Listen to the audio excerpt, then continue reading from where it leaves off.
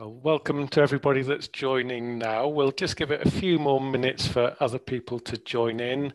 I do make it one o'clock, but we'll just give it a few more minutes. Um, it's rather strange to be sat here and talking to myself, apparently, but I understand there are about 500 people joining us, so that, that's rather wonderful.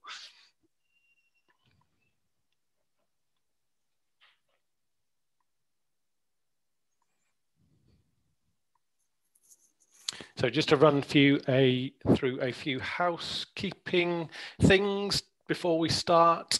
Um, my name's Dr. Trevor Dines uh, and I'm hosting the webinar today.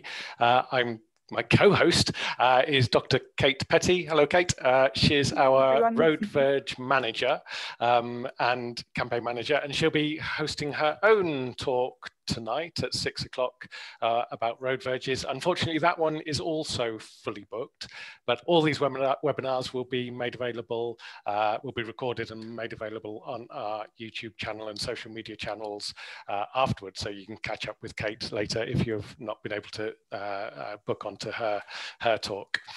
Um, if you have questions, as it says here, we can't actually see you, so um, which is really odd for me because I love to see the audience and love to interact with the audience. Uh, so uh, this is a new experience for me. Uh, during the webinar, we can't see or hear you, but please use the Q&A button that you should have at the bottom of the screen to ask questions about the content of the webinar as we go through. Now, Kate will be fielding and looking, collating the questions as we go through but you won't be able to see them. So we can oh, we'll have a little question and answer session at the end, and that's when we'll deal with with the questions that have been posted.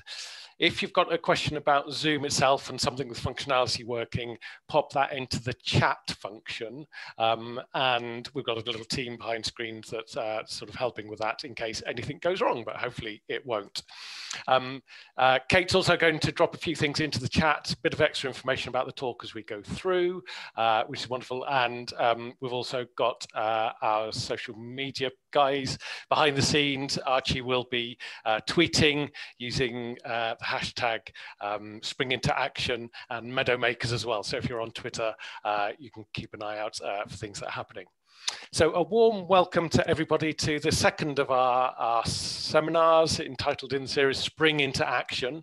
Uh, and we just thought, you know, this is such a, uh, uh, a sort of um, a time of year when everybody needs a little bit of cheering up. So I'm going to fill your screens basically with flowers and sunshine for the next hour as I take you on the journey uh, through meadow creation that I've been involved with for the last five years.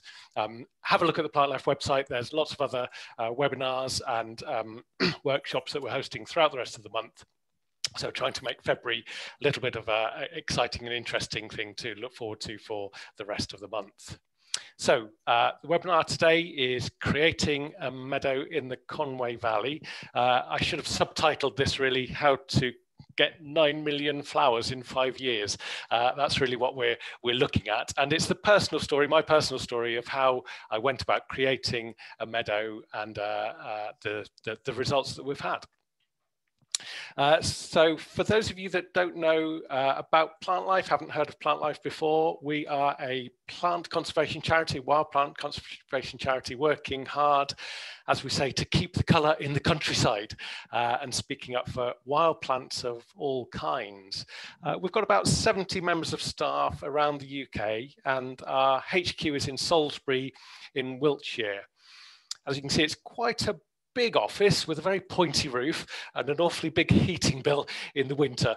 Um, this is Salisbury Cathedral, very famous, of course. Uh, but I love going down to Salisbury to our HQ because it's actually where we're from, where I'm from originally. I um, grew up on a farm just outside Salisbury, uh, well, across the border in Hampshire, uh, just near a village called Stockbridge in the Test Valley. Uh, so I had a, as I was growing up, a botanical playground, really, of incredible diversity with fields, woods, and water meadows full of absolutely incredible, rare, and interesting plants to find. I was uh, uh, scouting around the fields and mapping in my head all of these plants before I was age 13. Mm, there we go. That says a lot about me, doesn't it? Uh, when I then moved from there to the moved away from my farming farming roots up to the uh, dramatic landscapes of the Snowdonia Mountains in North Wales. Uh, I came to university in Bangor, which had a, a wonderful botany department there at that time. And after completing my PhD in botany and a, a, small project mapping all of the plants in Britain and Ireland uh, for the Botanical Society of the British Isles, I began working for Plantlife back in 2001. So I've been with Plantlife for nearly 20 years now. Um, Plantlife owns 23 nature reserves around the UK. Most of these are grasslands and meadows, uh, which we bought up uh, from some funding, or we helped with some funding from Timotei at the time. If anybody remembers the Timotei advert uh, with a, a lady in a, in, a, in, a, in a sunlit meadow just stroking her hair like this, sunlight filtering through, uh, that was Timotei. They were promoting their, their, their shampoo. And Timotei actually is, is Finnish for Timothy grass. Uh, so there's a little botanical con connection there. But they gave Plantlife a generous grant at the beginning to help us buy up some of these meadows. And this is one of my favorites on the screen now is Caeau Tan y Bwlch Reserve on the hill uh, above Clynnog Fawr, just outside Carnarvon, a few miles from where I live. Uh, this is owned by Plantlife, uh, managed with us uh, for us by the uh, North Wales Wildlife Trust. It's absolutely one of my favorite places on a glorious summer's day. Uh, there are something like, oh, just around seven or 8,000 butterfly, greater butterfly orchids in these meadows. And we have a lovely time every year um, counting the butterfly orchids and, and, monitoring the vegetation there. And this is really where my love affair uh, with meadows really began in this reserve here. And it really is a love affair. For many of us, this is the sort of embodiment of, of a wildflower meadow, a soft, dreamy flowerscape, backlit with sunlight, and just that idyllic idea uh, of a field full of flowers. And of course, in other cases, these can be thousands of orchids. If you've ever been to Joan's Hill Nature Reserve, Plantlife Reserve in Herefordshire, hundreds upon thousands of, of, of orchids flowering in the, in the meadows there. And then there are other very different meadows, of course, as well. Up in Yorkshire, you'll find these wonderful sea of flowers in Muker Meadows, one of my favourite sets of meadows, 12 meadows uh, set up in Swaledale, and very iconic species like this wood cranesbill in the foreground here, uh, uh, very reminiscent of these northern uh, hay meadows. But of course, this idyllic picture, as we all know, is sadly no longer as common as it once was. And back in the 1930s, this is largely down to a chap called George Stapledon. He was the director of the Welsh Plant Breeding Institute at Aberystwyth he took a very low view of these of these flower-rich pastures. He actually described them, and I'm quoting here, as some of the worst examples of slovenly, negligent, and deplorable husbandry in the whole of agriculture.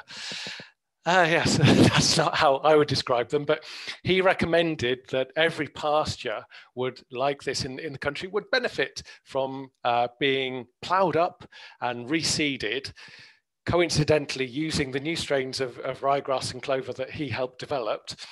And unfortunately, his view became government policy, driving production and driving productivity in these meadows. So that by 1945, just a short time after he started advocating this, 40% of our flower rich pastures and meadows had been ploughed even today, these processes of ploughing, reseeding, fertilizing, cutting regularly for silage, and grazing hard throughout the year are very much the accepted norm. So that today we have lost 97% of our wildflower meadows, and they've been largely replaced with scenes like this intensive pasture dominated with perennial ryegrass, white clover, and with less than maybe a dozen other sort of species, weedy species growing within that, that um, field, uh, things like docks and clover. Um, so 45% of our meadows have gone to that. 43% uh, have been uh, converted to arable, uh, past, uh, arable croplands, uh, growing with wheat and barley. Uh, and this is, this is in fact one of the fields where, where I grew up, on the farm where I grew up, down, down in Hampshire. and these cereal monocultures, again, just will have just a dozen species of, of, of highly competitive plants that can survive in that, that environment. The other main loss of these meadows has been to uh, woodland and scrub. Uh, and this is often the result uh, of, of, uh, of, a lack of management. So 3% of, of, of, these pastures have been lost. That gradual development of scrub, that develop, gradual development of woodland. You know, that in front of us on the screen now is an absolutely fantastic, fabulous species-rich habitat. But if there isn't any management there, that scrub will slowly take over and it will convert to high woodland. And that's where we've lost another 3% of these meadows. So the result, as I mentioned, is that over 97% of our species-rich grassland and meadows have been destroyed. And that's a really difficult figure to get your head around. Um, we've worked out that uh, 7.5 million acres have disappeared. And to put that into perspective, that is an area equal to 1.5 times the size of Wales. Uh, if you scattered that area uh, across the whole, whole of Britain, that's what we've lost in, in, in Wildflower Meadow. And in response to that, you know, Plantlife has been campaigning uh, for years about uh, the loss of meadows. And back in 2012, we published a report, Our Vanishing Flora, which looked at the loss of species, the loss of plants, the loss of flowers from individual counties and, and vice counties uh, across the UK. Now, in the forward to the report, uh, His Royal Highness the Prince of Wales, who's our patron, uh, called for, in the year of his mother's coronation, a concerted effort to create a new meadow in every county. And that is where the idea of Coronation Meadows was born. So the Coronation Meadows project is led by Plantlife, uh, and we're working in partnership with the Wildlife Trusts and the Rare Breed Survival Trust, who are uh, both have uh, Prince Wales as their, as their patrons. And it's a wonderful, wonderful partnership to, to, to work together. The Wildlife Trust owning many of these, these, these uh, fragments of, of species-rich grasslands that are left, but also the Rare Breed Survival Trust bringing to us a whole raft of expertise and knowledge uh, and, and uh, understanding of how these meadows work and how they, they should be grazed that we hadn't really sort of uh, had access to before. So it's wonderful to work in, in partnership with them. Now, the idea behind Coronation Meadows is really quite beautifully simple. Uh, the, uh, the aim is to identify a, an ancient uh, coronation meadow, an old meadow, one in each county, and then to collect seed from that meadow to create new coronation meadows in the county nearby. This is a process of natural seeding, and this forms the core of, of, of the work of, of coronation meadows. So this natural seeding helps convert, conserve the variation and the local character of our meadows. You know, if you go to this is this is again uh, Joan's Hill Reserve uh, in Herefordshire. This Herefordshire meadow will look very very different from a meadow that's found in Carmarthenshire or up in Cumbria or across in Norfolk. So these meadows have their own species, their own identities, and natural seeding is, is a way of preserving that when we create the new meadows. So these ancient coronation meadows are sort of flagship meadows for their county, like say one in each county. They're flower rich, uh, permanent grasslands maintained by traditional agricultural processes, and they tend to have a very long history of the same management going back um, often generations. All of them are accessible to the public, and uh, all of them, like I say, have been used as a source of seed to create new meadows in the same county. Uh, so around uh, the county, uh, around the country now, we've got 88 of these ancient coronation meadows identified.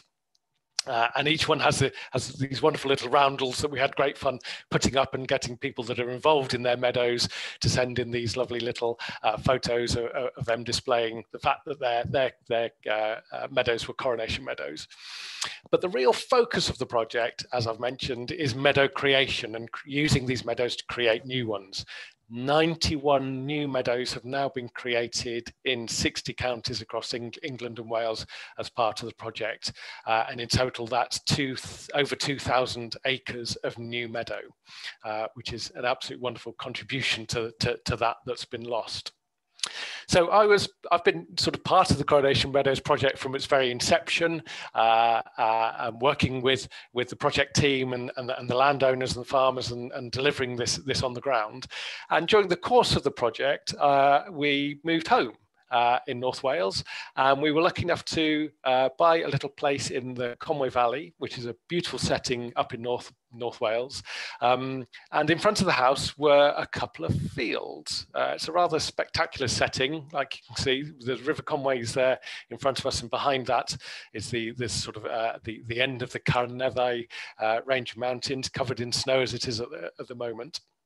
And these fields in front of the house, they'd been um, looked after quite sympathetically by the owners before us, but they had been, um, like so many pastures, grazed quite heavily with horse grazing in this case uh, for many, many years. So that had led to these pastures, the, the, this, these fields being really, really grass rich rather than flower rich. So this is where we started uh, back in 2015.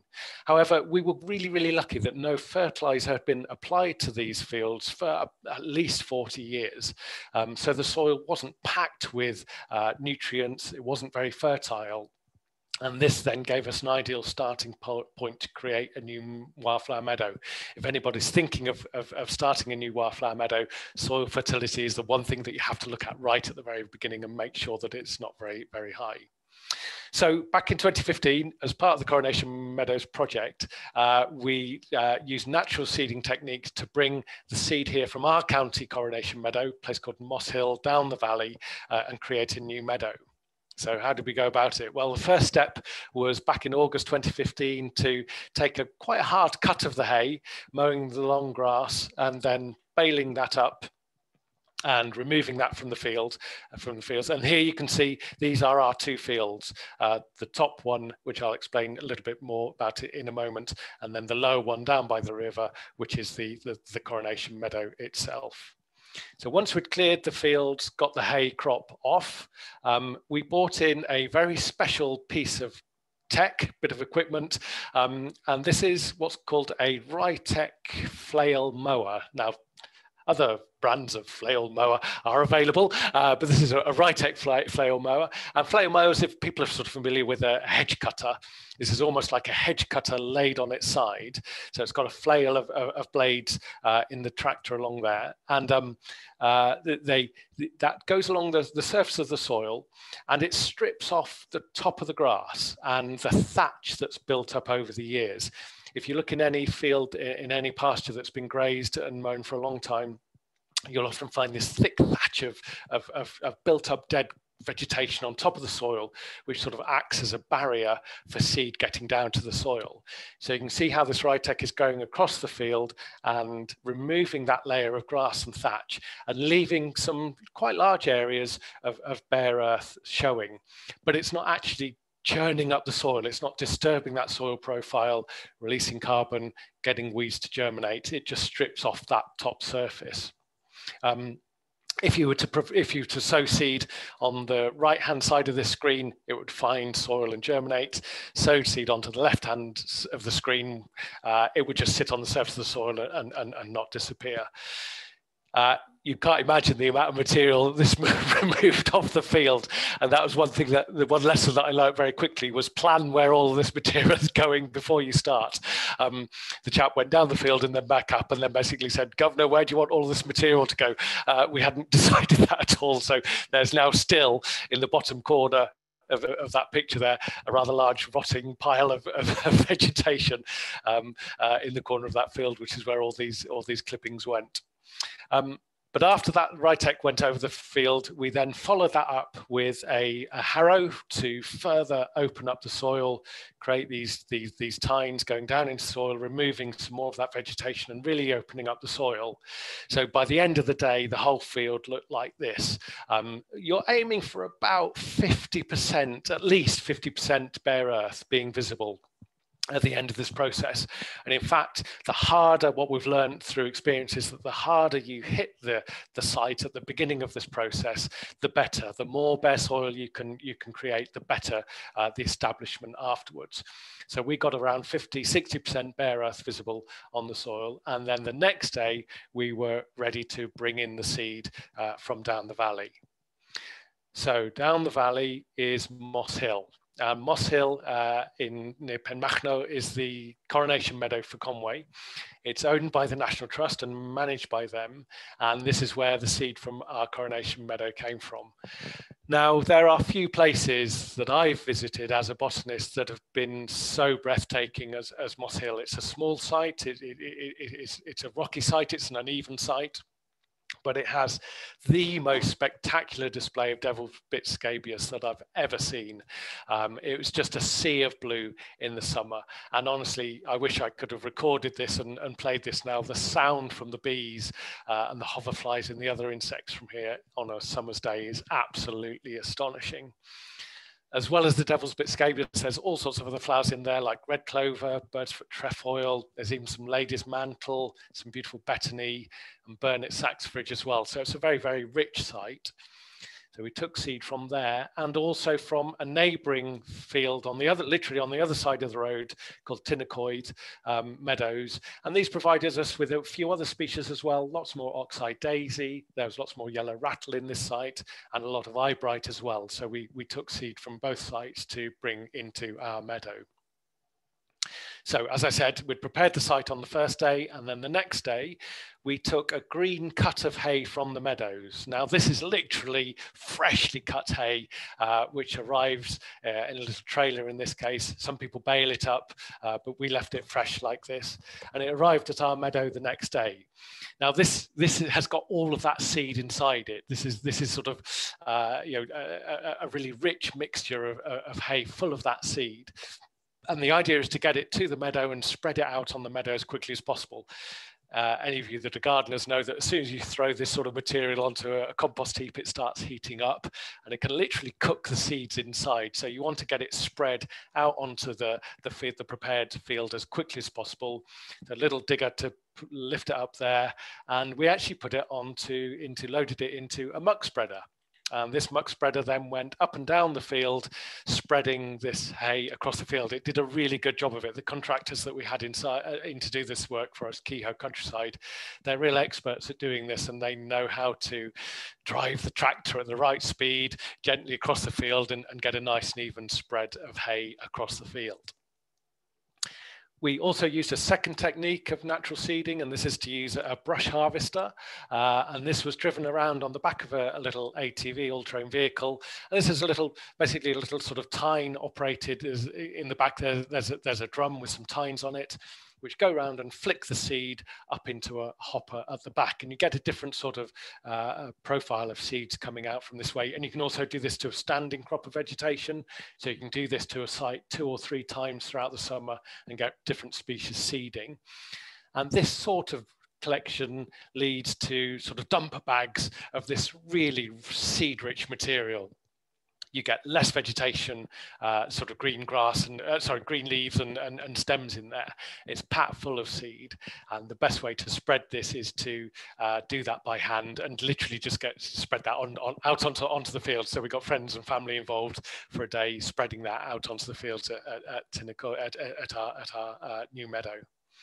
So by the end of, of, those two days of work, the clearing and then the spreading the seed, this is what our, our soil, this is what the whole field looked like. It was absolutely amazing. We had an awful lot of seed there and you can see, just make out the seed, if I can just uh, uh, pick up the, uh, so it, that, those sort of disc shaped seeds in the middle there, the brown seeds, that that's yellow rattle, seed uh, and there's little bits of uh, devil's bit scabious seed in there and some grass seeds as well but that's how the seed looked across the meadow and then we had a really wonderful, this was back in 2015, a really wonderful, wet, warm uh, few weeks after that, which just proved perfect for germination. And uh, I quickly became uh, a, bit of an expert at trying to identify different species as they germinated. Um, so millions of seedlings started, oh, goodness gracious, the, the, yeah, the excitement at this stage, I spent every day rushing out and trying to see what was germinating. Uh, things like common sorrel, uh, on, on the left, top right, in, in the middle, we've got Devil, Devil's Bit scabious, uh, glowing cockwise, uh, oxeye daisy, uh, then um, knapweed and uh, meadow buttercup in, in, in the middle at the bottom there. So these little seedlings started to appear and that was just so exciting, such, a, such an exciting period to actually see, yeah, this had worked. The, the natural seeding had, had taken place and these plants had, had arrived in, this, in the field and were starting to germinate. But if you remember back to the, the Rytec flail mower and what that was doing to the field, it was only taking off the top layer of soil. It wasn't going down into the soil. It wasn't removing the grass roots that were there. So the grass grows back really, really quickly. So as well as the seedlings, you get the grass coming back. And in just a couple of weeks, this is how the field looked. Almost no different from any other improved sort of field uh, growing around. Uh, this very vigorous growth of grass coming back and we often show this slide to uh, people that are undergoing, that are going through this process of, of, of, seeding, natural seeding, because you know to a farmer it can be quite horrific. You stripping off all of their grass, and, and they get quite nervous about uh, the damage that you're doing to the field. But look, this is what happens after a couple of weeks' time. All of that vegetation comes back. You haven't got a lot of bare earth exposed to the, to, to the elements. Uh, this is literally a couple of weeks later, and it looks like a, a, a green field. But of course, that presents us us with a problem because we've got all of those seedlings germinating and this grass is very vigorous and will compete and overshadow and, and displace those, those seedlings. So we need something in here to, uh, to keep that grass under control uh, and, to, and to allow those seedlings to germinate. Um, so there's an old adage that livestock make meadows and meadows make livestock. So we decided to uh, uh, take the plunge and buy our own uh, livestock for the field. And by chance, the chap that one of the guys that uh, looks after Moss Hill, the National Trust place where the seed came from, uh, he keeps Highland cattle. So we bought our own Highland cattle. and this is uh, Caddy and Breya, uh, our two little heifers as they were at the time, arriving in their new home. This is this is just as they arrived, um, and uh, so they only travelled just down the valley uh, and were brought in to, to to graze the meadow as it grew back. And they have done an absolutely fantastic job. This is them in that year uh, I think they, they, were, they couldn't quite believe their eyes. They were the only two cattle in this field, and they had this whole field to graze. Um, and uh, Geraint, who uh, sold them to us, you know, he described them as little barrels these days. they really did get fat on, on that regrowth of grass. But Highland cattle are very, very hardy. They're very, very adaptable. They're very easy to look after, and they did a fantastic job staying out all winter and keeping the grass down. Now, just to explain how our system works, I mentioned we had two fields. Uh, this top pasture, this grazing pasture at the top, is where the cattle cutting Breya stay during the spring and the summer. Um, so it's almost, some people describe it as a sacrificial pasture. You know, we don't expect a lot of flowers growing in there but they're contained in that area, as I say, whilst the meadow grows and flowers. And then when we've taken the hay cut in the meadow uh, late in, in the year, uh, the cattle come out of the grazing pasture and down into the meadow. And this little two field system really works well for us. Um, if you're smallholders like us, uh, it can be easily accommodated. Um, uh, it's nice to have that, that other little bit of grazing available for, for your cattle whilst they're not in the meadow.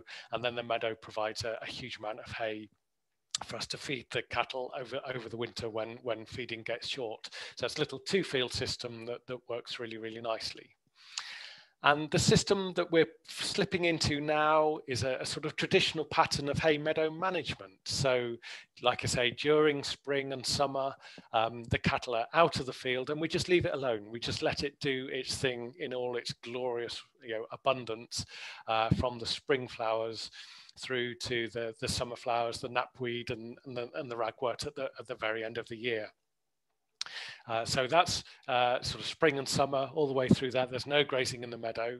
And then in August or September, we take a cut of hay um, and collect the, the, the, round bales from the, from the field. Um, uh, that's done by a local contractor for us, and they then go into storage. And then a couple of weeks after that hay cut has been taken, that grass regrows again. It's called the aftermath growth. So again, you bring in grazing animals to keep that aftermath growth nice and short. And uh, of course, in this case, uh, we're using Highland cattle. Uh, and we normally have three to five cows. Often we have a couple uh, more from Geraint and Larry's fold where, where, where the cows came from. So we graze that quite hard in, in, in, in the autumn. Uh, September through to February, we're quite lucky because uh, although we live in wet northwest Wales, uh, these fields here are, are, fairly well drained down into the uh, down into the River Conwy at the, at the, bottom, so we don't have too many problems with poaching uh, and the ground getting too cut up over the winter. So we can leave the cattle out till till February. And what we're aiming for is is this really really short turf that's packed full of species. Now, my experience over the last few years is that this is of fundamental importance. This hard grazing at this period is fundamentally important to uh, keeping the species, increasing and keeping the species richness in these in these meadows, because this is probably the main germination period of, of all of these plants, and this is when you want that grazing in place to keep that sward short and allow those seedlings to germinate and, and give room for the plants to grow. So this this autumn to winter spring germination period is absolutely fundamental if you want to increase species diversity within your fields. That takes us through to February, and by February, by the end of February, uh, the first yellow rattle seedlings are starting to germinate. Now, uh, yellow rattles are, are, a really important species within the meadow because it taps into the roots of grasses and other plants as well, suppressing their growth almost by about 60% in some cases and creating room for the wildflowers to, to, to, to grow. So this germination of, of yellow rattle is, is, is, is always, uh, always go out uh, sort of from a couple of weeks time uh, in the middle of February to the end of February, uh, sort of you know, scanning the turf and waiting for the first yellow rattle seedlings to germinate. Um, they're lovely little things, often called, they've got little rabbit ears uh, with their first little leaves that start showing. And I use this as a, as a, as a biological, biological indicator of timing to take the cattle out of uh, out of the field. So it's at this point, once the yellow rattle germinate, that we sort of shut up the meadow, as the old term is, remove the cattle up into that top pasture, and then leave the meadow to do its thing through spring and summer. So that's the sort of cycle that we've adopted through the years. So 2015, this is how the meadow looked. Um, as you can see, dominated here by Yorkshire fog, uh, with scattering of nettles and docks, and just a few meadow buttercups through. Um, there were species there. You know, it wasn't species. There was there was a bit of knapweed. There was a bit of um, uh, bird's foot trefoil and other things in there, but it was dominated, as you can see here, by grasses, uh, particularly York, Yorkshire fog. So that was uh, where we started from. So the year after seeding, this is how the meadow looked. And as you can see, there's still a lot of grass in here, still a lot of Yorkshire fog. But there are a few flowers starting to come through, a few more buttercups than there were before. Uh, there's a little bit of yellow rattle, but not very much. And this first year after you start the work, people can get a little bit disheartened and think it hasn't worked just you wait. So you'd need to wait a couple of years for the yellow rattle to get going. And this first year of seeding puts a huge amount of seed back into the meadow. So the year after this, 2017, this same view looked like this. This is what I call my explosion of yellow rattle. Um, it was absolutely dominant in, in the meadow. It really took a grip uh, and went through the sward, really suppressed the grass. to be honest, there was hardly any room for anything else in the meadow at all. Uh, and the grass was very visibly reduced in, in, in, in, growth. So that did its thing and, and got on top of that grass and reduced the growth. The next year, we really started to get a sort of proper wildflower meadow starting to develop. And this was that big transformation. So here you can see the yellow rattle in the sward but many more flowers coming in, lots more uh, uh, buttercups, lots more uh, red clover, a little bit of cat's ear coming in, and lots of yellows, uh, lots of common sorrel coming in. Uh, this was the point where I sort of uh, I'll, I'll, be honest with you. This is where I started crying and thinking, "Good grief! This is, you know, we have we have achieved a, a, wildflower meadow." By 2018, it was really starting to look like a proper wildflower meadow, and uh, the transformation has just been astonishing. 2019, it got even better, even more flowers, uh, even less grass, even more um, uh, uh, different species coming in. And uh, this was the year, this I call this the year of cat's ear. So cat's ear completely dominated the sward. And I think this is because we actually had a bit of a drought in 2018. and in 2019, cat's ear, which is the little yellow, the, the, the dandelion looking flower that dominates here. Uh, that's got quite a long taproot and was able to, to survive the drought fairly, fairly well. So that really dominated in 20, 2018. Uh, sorry, in 2019. And then last year in 2020, the meadow just got off to a fantastic start, a really lovely mixed sward developing. And this really looks starting to look like an authentic uh, wildflower meadow at this stage or at least it did until the drought hit. And if you remember back last year, um, that drought where we had no rain or absolutely no rain in sort of I think it was March, April, and May, one of the most severe droughts on on on, on record. So a few weeks after I took this photo, the meadow basically looked like that. Now I'll come back to this in a minute because this has had loads of effect, knock-on effects for for what the meadow uh, looks like and, and how it performed. Now, I've been doing lots of uh, monitoring in the meadow uh, using highly scientific uh, equipment, uh, basically uh, uh, a load of canes laid out in a square. so I use these one meter quadrats to do detailed vegetation monitoring. And every each one of these one meter squares is divided into nine separate cells. And basically you count and record every species within those cells. And that gives you an idea of the not only the, the, the presence, but the abundance abundance and frequency of these species within the meadow. That's repeated 21 times across the meadow, takes two days of, of backbreaking work, um, but it's a lovely place, lovely office to work in. Uh, and that's over the years has built up into a really detailed picture of what's happening in, in the meadow.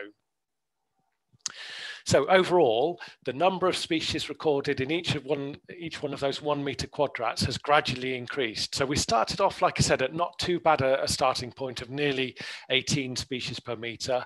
That's now increased up to 27 species per meter this year. So we're heading up to those high figures um, of, of real species richness. So that's 27.1 species within just a square quadrat at your feet. Even more impressive are the total number of species recorded in, in the meadow. And you can see that we started with nearly 50 at the beginning back in 2015. And this year in 2020, we're nearly up to 100 species being recorded in the meadow. So we've effectively doubled the species richness. Uh, and, and, as you can see, it's starting to level off, and that's what you would expect as well. A, a, big increase at the beginning, and then a slower tailing off, but a constant addition of new species in, into the meadow uh, each year. Um, so that's something that, that, will happen in the future. We'll constantly get new species coming in, and of course, it's a flux of species, so other species are, are disappearing uh, as, as the meadow establishes and changes. Now we can track individual species as well. I don't want you to take in all of the detail of this slide, but I just wanted to, to point out these are, are sort of positive indicators, things, nice things in the meadow that we want to have there. And you can see how, for example, things like um, uh, uh, yellow rattle has increased, red clover, that red line has, has increased gradually through the years. Cat's ear has really, really increased as well. Um, and uh, the only one that hasn't really sort of taken off, um, and that surprised me, is common bird's foot trefoil. It's sort of um, sort of you know, wiggling along the bottom there, uh, not really increasing, but it's still there and it's there in the sward. And I think it just takes a little bit more time to, to get going. But as you'll notice, last year or this or, or, this last year, uh, because of the drought, you'll notice that there are big crashes in yellow rattle, um, the green line at the top, eyebright, the next green line down, and then that darkish blue line of lesser trefoil. Now, these are all annual species in the meadow. They germinate every year in the spring, and these are the ones that were hardest hit by the drought this year, uh, last year.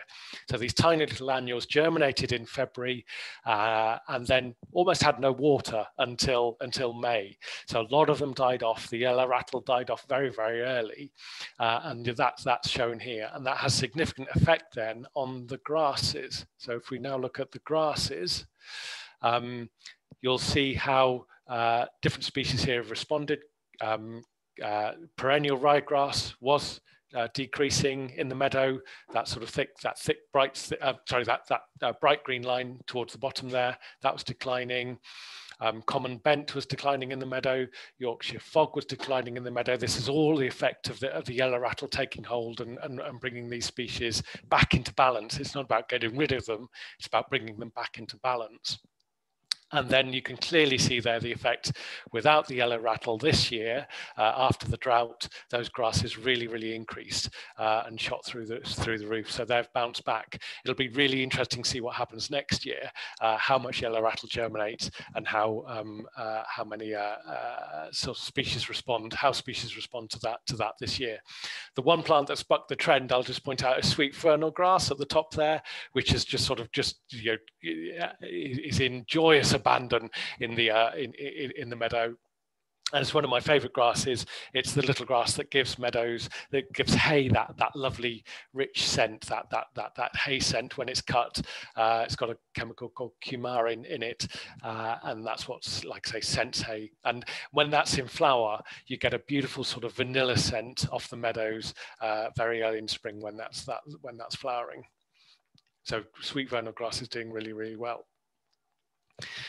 Now, uh, diversity is made up of two things when, when we're looking at this in detail. So you've got the species richness, how many species are present in your field, but also their abundance, you know, how, how, how, how dominant a species is. And what we're always aiming for is a lovely mixture of the two, lots of species, but no domination with one species or another. So these are, these are measured with indexes of diversity. There's lots of different indexes of diversity available, but I'm using Simpson's index of diversity. And you can see that over the years since 2015, uh, the diversity has slowly increased, uh, well, rapidly increased at the beginning, slowly dipped off and then has picked up again. So despite the drought, the, the, the actual measure of diversity has increased, which is really, really encouraging. On the right-hand side of the screen, Simpson's evenness, that's a measure, that's one of those elements that makes up the diversity. Looking at that in a little bit more detail, you actually want this graph to be coming down and the sward to be less even. So for example, it's the difference between having a field with 20 species in it, but 99% of the individuals are yellow rattle. Uh, you don't want that domination by one species. You want several, uh, you want a nice and even mix of things. And um, you can see here these two peaks so that that that loss of evenness, if you like, uh, or domination by species was, yellow rattle back in 2018. And then this year, we've had an increase in the grasses, particularly sweet vernal grass and other grasses as well, and also cats ear, very tolerant to drought. That, that, that's really gone through the meadow and, uh, and, and caused a decrease in its in its uh, evenness, which is uh, not something that we're looking for. So again, you know, we'll be looking. I'll be really fascinated to see what happens this next year uh, when when uh, the new season kicks off. So in terms of plants, we've had some really interesting plants starting to appear, and it's wonderful to see this different pattern of, of emergence. So it took a couple of years before we started seeing Burnet saxifrage. Uh, year before last was the first year that, that we saw that. We've had uh, starting to flower now, a plant that takes a few years to get going and, and, and start appearing uh, in, in, any, in, in any quantity.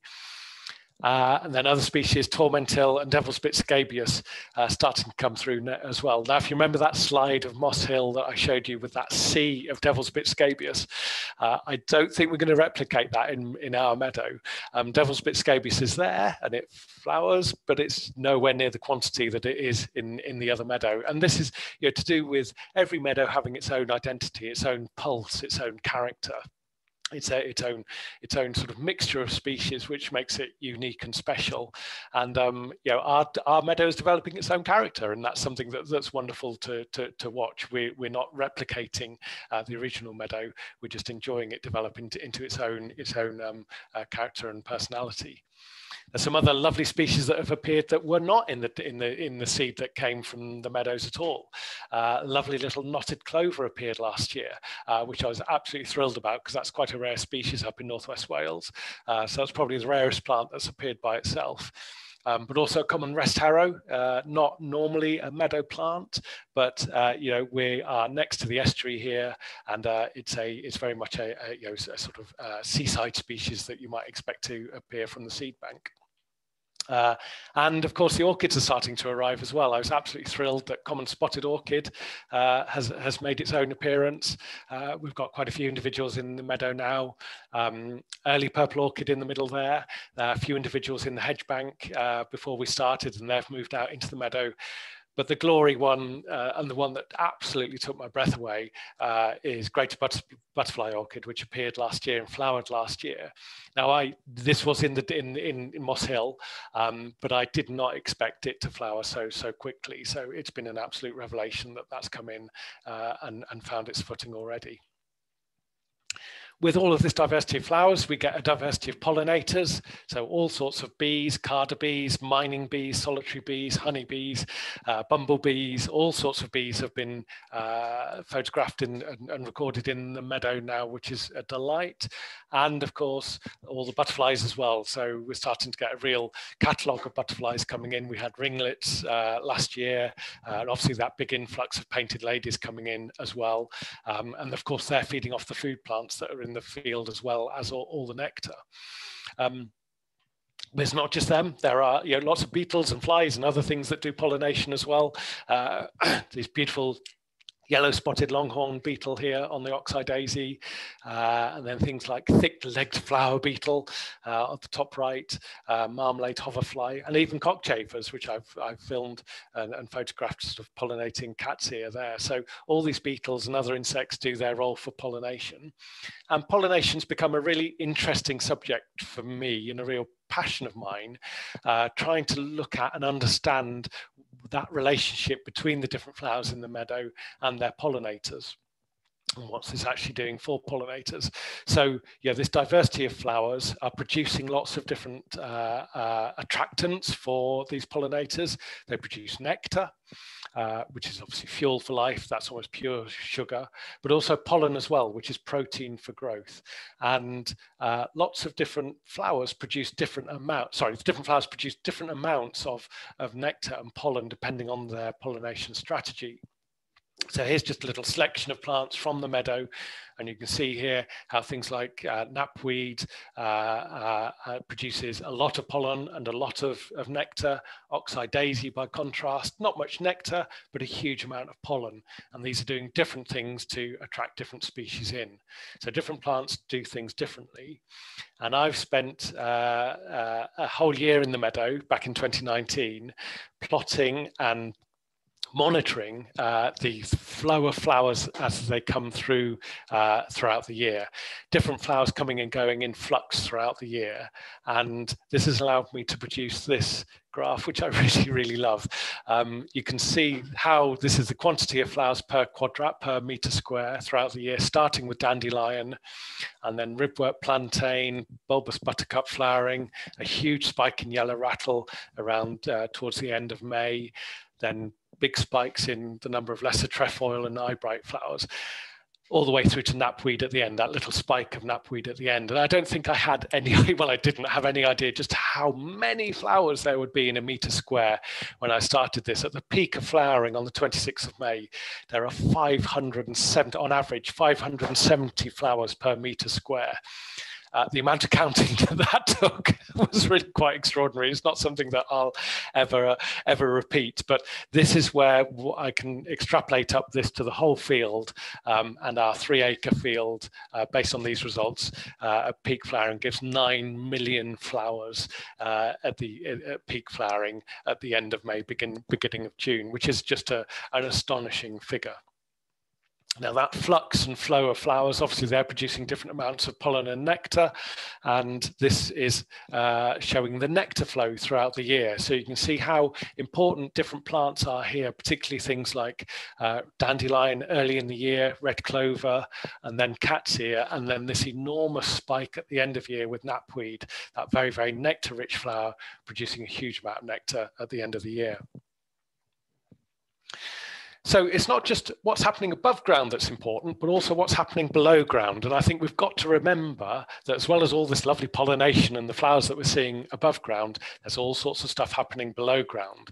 Now, this is taken from uh, an, uh, a study of, of, prairie plants in North America. So this isn't this isn't representative of, of my meadow, but it just gives you an idea of how different plants root at different depths, have different style of rooting, and can access minerals and nutrients at different different levels.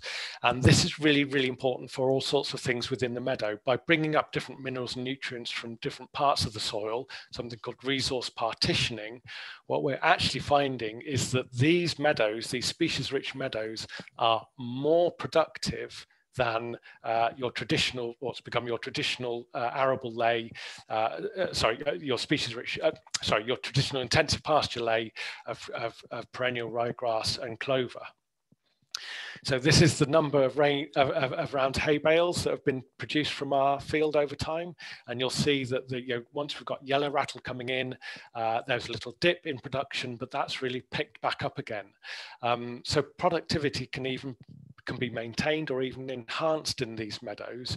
And this is true of many published studies now. There, there's a whole raft of studies coming out showing that that the, the, the, above ground productivity is not just only maintained but can be enhanced in these species rich meadows. So that old belief that yellow rattle is really bad and these uh, these these grasslands are unproductive um, is absolutely wrong and, and we really need to challenge that. They're really really productive not only that, um, those roots underground, that diagram of those roots underground are tapping into nitrogen in lots of different ways. So they're utilizing nitrogen much more effectively than just two species in, you know, think of a ryegrass and, and clover ley, all of the roots at the top of the soil uh, but when you've, you've got all that different rooting down at different depths, that's bringing up lots more nitrogen. It's using it much more effectively, and um, you get less leaching of nitrogen out into the environment, and, and you reduce the need for fertilizers as, as well. So there's there's huge two environmental huge benefits there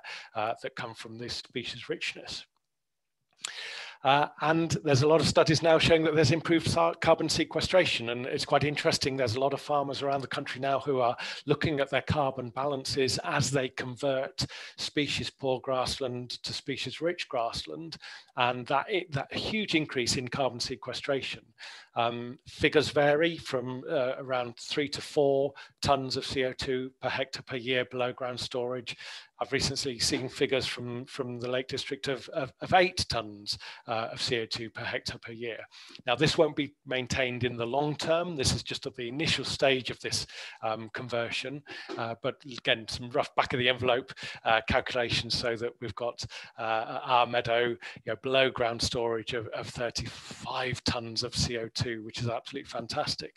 Obviously, that above ground storage, that's going into hay, so that will be used and, and probably released back to the atmosphere atmosphere in a different way, but that below ground storage uh, of CO2 is really important and underlines the importance of a, of a, a multi-habitat approach that we need to carbon storage and there's benefits for, for, for, our livestock. So, you know, a species-rich diet leads to increased mineral uptake. Those roots down below ground are bringing up different minerals from different areas, and there's evidence that there's a reduced need for mineral licks uh, with with with, uh, livestock that's grazed on these species-rich pastures.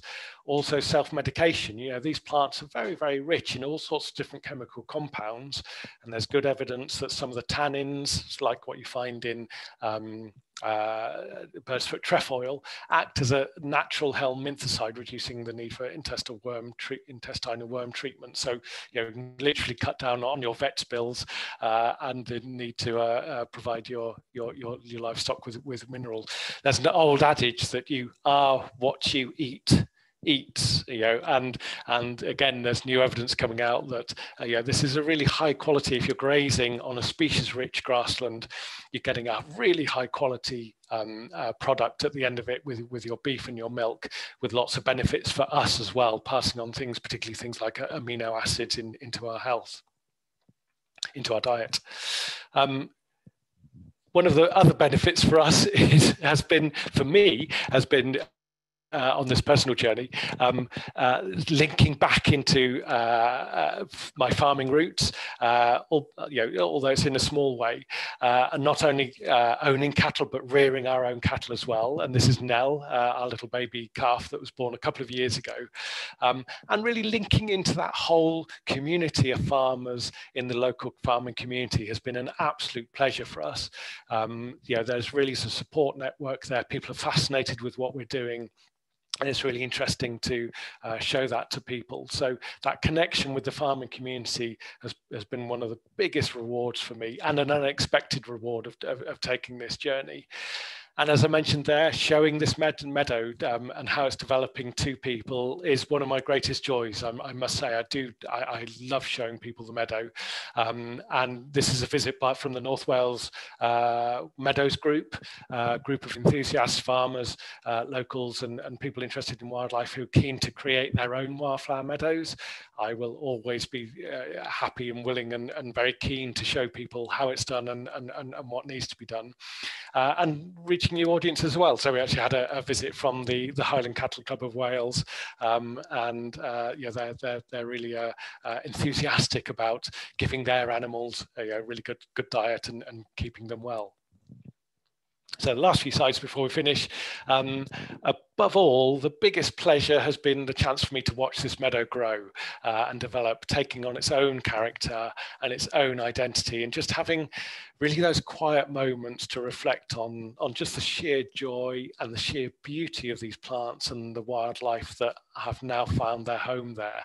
Um, last spring during the lockdown, uh, you know, people weren't able to come to the meadow, which was, which was a real shame.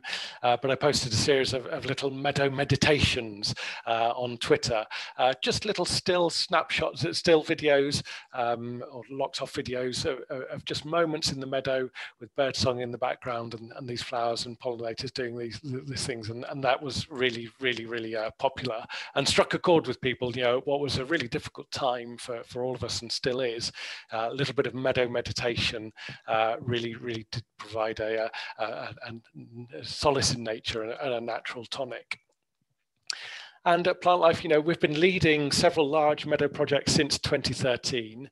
Uh, and together, these have seen the creation and restoration of over 12,000 acres of, of, meadow and species-rich grassland. Uh, really excitingly, uh, we've just secured a grant through the government's Green Recovery Challenge Fund uh, for a new project called Meadow Makers, which will see another 1,200 acres of meadow created across seven counties in England the most exciting element, I think, for me uh, of this project is that we'll be training six Meadow apprentices uh, to learn the skills and gain experience in creating meadows so they will go on to be uh, the meadow makers of the future. So I just want to leave you and say thank you with this slide. Most of all, this thing has shown me, and the biggest surprise to me has been how quickly the flowers and the wildlife can return. You know, this is this is after five years. If we just give them the opportunity and provide them with the management that they need, you too can get nine million flowers appearing in five years, uh, and nothing could bring more joy to the heart and hope for the future uh, in the face of, of, of you know, biodiversity biodiversity loss from the countryside. It can be done. We can bring these things back. And, and, and uh, I hope uh, everybody's enjoyed the talk and uh, thank you very much. So I'll just finish sharing my screen now and uh, we'll come back to Brilliant. Thank you so much, Trevor. That was a fascinating talk and it was wonderful to hear about all of the wonderful flowers in your meadow, but also your your personal journey through it. And on that note, we've had so many questions in, um, which which is which is wonderful. Um, I'm afraid I couldn't question... see the chat as we were going, so I do apologise. Um, one of the questions, perhaps to start us off, um, why did you decide to become a botanist and not a, and not a farmer, um, given, given, your background? so I, ha- I have an older brother and a twin brother, both of who are in, in farming. So I thought that that was enough ah. people in farming. so uh, so I, I steered off into into into plants. For some reason, you know, plants just captured my imagination as I was really really young. I I remember the moment that I discovered an early purple orchid growing on the farm, and um, that was the moment that that I remember going to the bookshop with my mum and buying a book to show work out what this plant was, and that just fired up my imagination for, for that. So, but I think that that progression through my life of of of, of, of understanding farming, uh, along with the botany and the ecology and, and, and that conservation, gives gives a you know, slightly different different take on on on conservation going forward, which has been really useful for me in in, in my That's career. Wonderful. That's brilliant uh, a few people had questions on the sort of the best timings to cut the hay and to sow the seeds and and whether yeah. you did anything to increase the contact of the seeds with the ground or did you just let them do their thing? No we, we just let them do their thing. Some people well what we did do was was was we put the livestock straight into the field um, and like so we we actually put in a few sheep as well uh, and that helps just trample the seed down into the soil. Um, you don't have to do that as long as you get a little bit of rain the seed will work its way down into the soil but it can help. Um, timings of hay cut is really interesting um, and what i would say is that there's no one set prescription. And in fact, it's a really good thing to do slightly different things each year.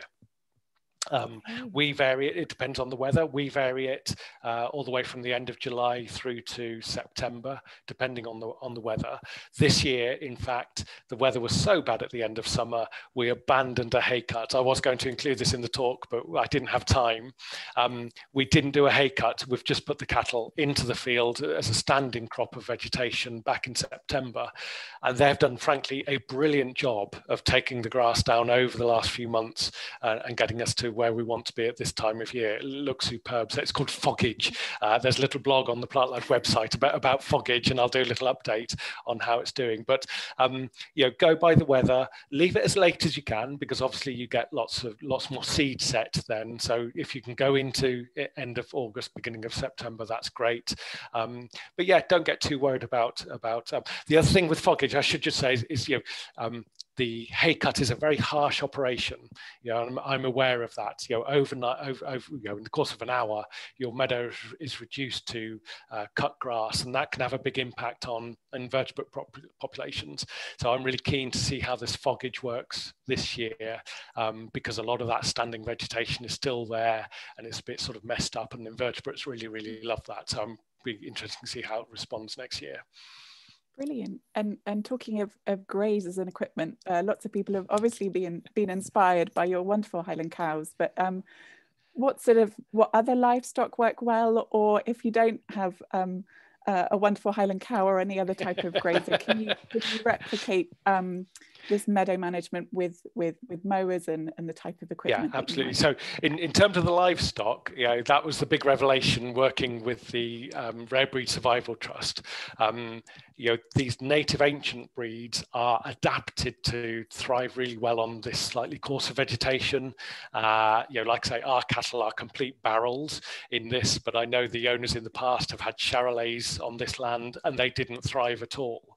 So you know our native breeds are bred for this belted Galloways are excellent, um, uh, really used popularly for, for grazing, but also the you know, the sheep. Um, uh, you know, we have we've had Ryelands grazing on here, ancient sheep breed or native sheep breeds. They're really really good for this as well. I really would because they're hardy and they're adaptable.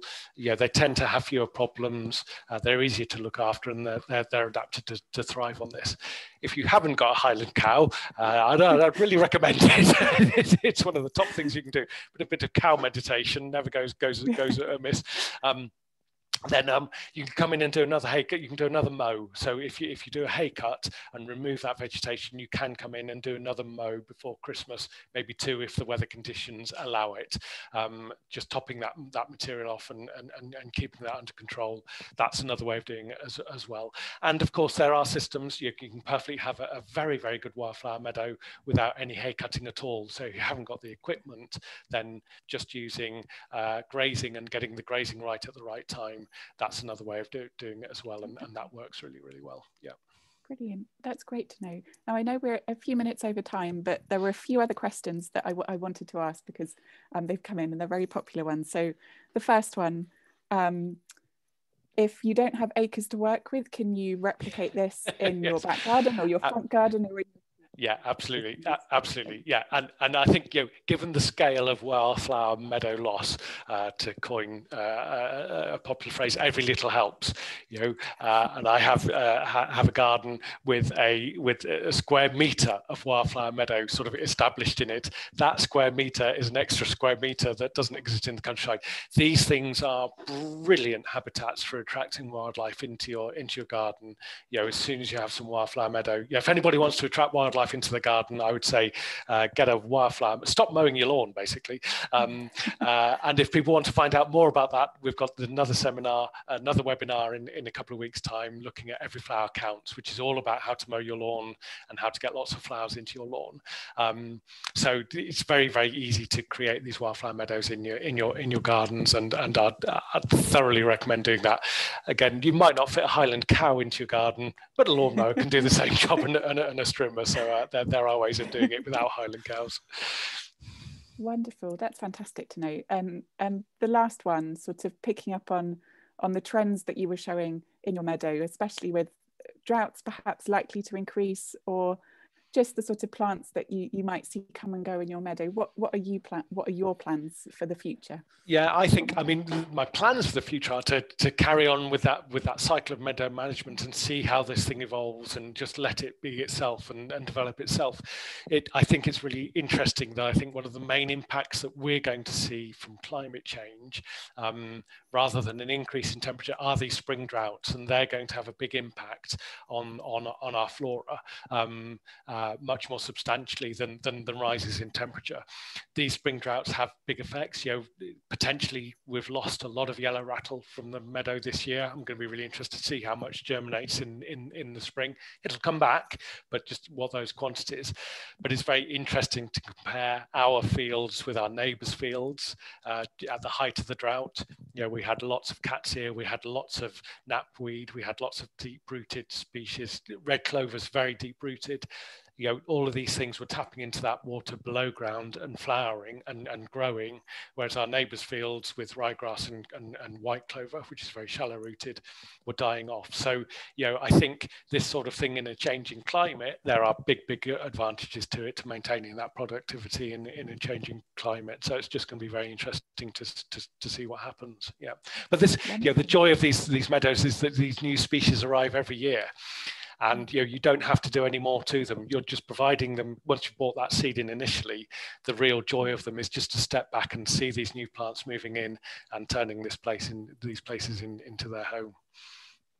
Brilliant that's fantastic to hear and I, I think all of us will look forward to to joining you again in future years to, to hear how your meadow is going then as well. So thank you so much Trevor and there's lots of thanks coming in on the chat for for such an inspirational talk so it's, it's been so an much. absolute joy and I hope people have enjoyed it and uh, yeah we'll uh, keep an eye on our social media channels and and, and have a look on on follow me on Twitter and I'll be tweeting from the meadow all year long so uh, I'll share it with everybody whilst whilst we're in lockdown. Yeah.